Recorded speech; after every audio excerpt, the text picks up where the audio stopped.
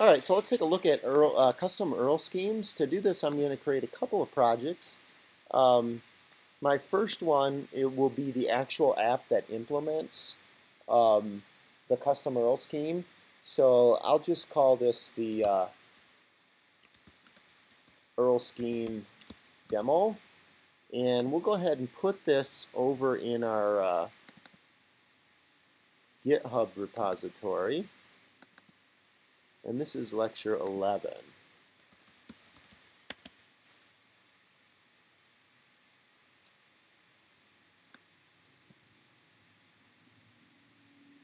So to implement a custom URL scheme, it's quite simple. Um, we simply need to make an entry in the uh, info.plist file.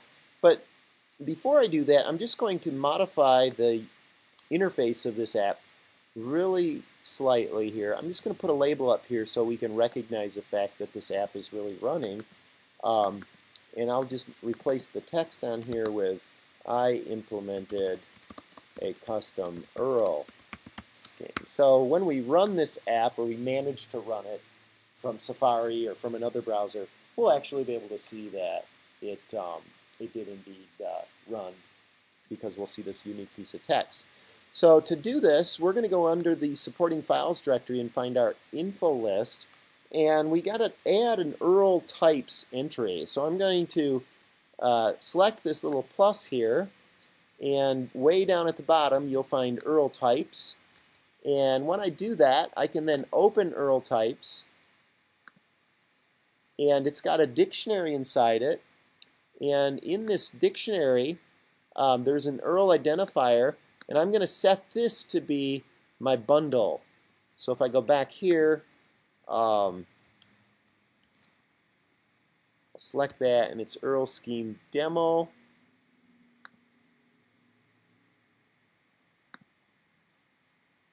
And we'll just paste this in here and type in URL Scheme Demo.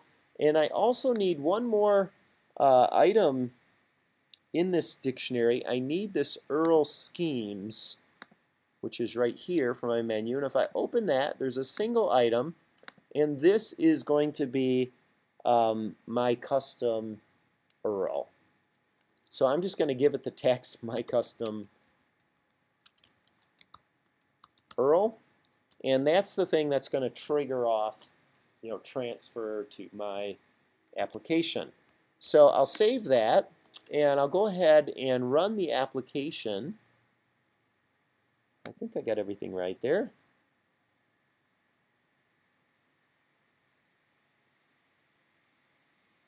Alright, so it runs and, and all is well. Now, if we did this right, we should be able to open Safari and type in here that URL. So I should be able to say my custom URL colon slash slash, and sure enough, that runs my application. But obviously that's not very interesting. We want to launch it from another app. So let's just quickly create another project here to demonstrate that. So we'll create a second project and uh, we'll call this our URL scheme launcher because it's going to launch this app. And we'll go into the UI and we'll simply add a button.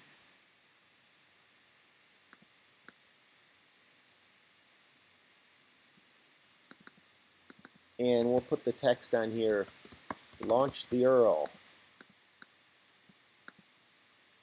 and we'll hang a action off that button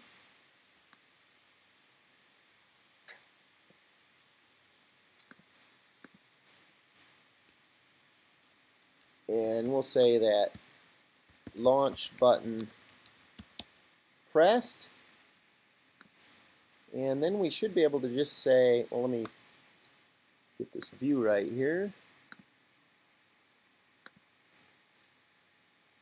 Alright we should be able to say UI application dot shared application dot open URL and pass it in an NS URL and we'll create one of those guys. We'll say let the URL equal ns URL, and we'll say string, and it was my custom URL, and we pass that in there.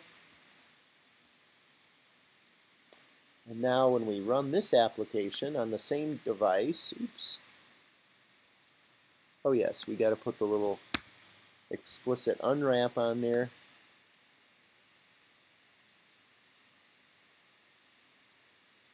Okay, so you can see now that this application is up, and when I click the button, uh-oh. Okay, I wonder if I got the text wrong here. My custom URL. Think it's the same. Oh, duh. I didn't complete it.